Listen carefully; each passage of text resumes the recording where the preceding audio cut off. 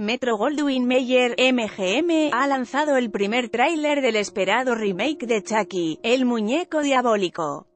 El filme dirigido por Lars Clever y protagonizado por Aubrey Plaza y Brian Tyre Henry verá la luz en junio menor que iframe id igual a E04 a 11 F025, name igual a E04 a 11 F025, src igual a u-ads.openx.net barra w barra 1.0 barra afer signo de cierre de interrogación a igual 540327650.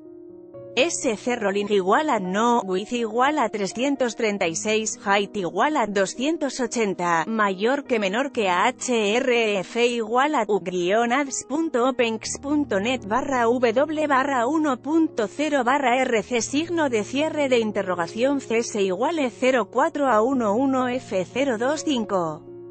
Hará las delicias de los más pequeños estas navidades. Es el regalo estrella que Karen Aubrey Plaza ha preparado para sorprender a su hijo Andy Barkley, Gabriel Bateman. Y la sorpresa será mayúscula, ya que el modelo que llega su hogar es un juguete defectuoso, hackeado a propósito para convertir al muñeco en un implacable y letal asesino. Y. Es que esta es la diferencia fundamental respecto a anteriores entregas de la saga, ya que en esta ocasión Chucky no está poseído por ningún espíritu demoníaco. Lars Kleber ha dirigido la octava entrega, cuyo guion está a cargo de Tyler Barton Smith Kung Fury, con la sonada ausencia de Don Mancini, creador de la franquicia, por primera vez en siete películas. Los fans de Chucky se han mostrado divididos ante el nuevo tráiler.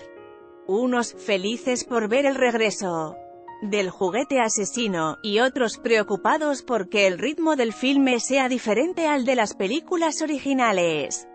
Chucky traspasa la gran pantalla y Don Mancini ha querido llevar a su creación a la televisión de mano de Sifi, la serie será una nueva versión de la franquicia, lo que permitirá explorar el personaje de Chucky a una profundidad que la televisión permite de manera única, mientras nos mantenemos fieles a la versión original que ha aterrorizado a la audiencia durante más de 30 años.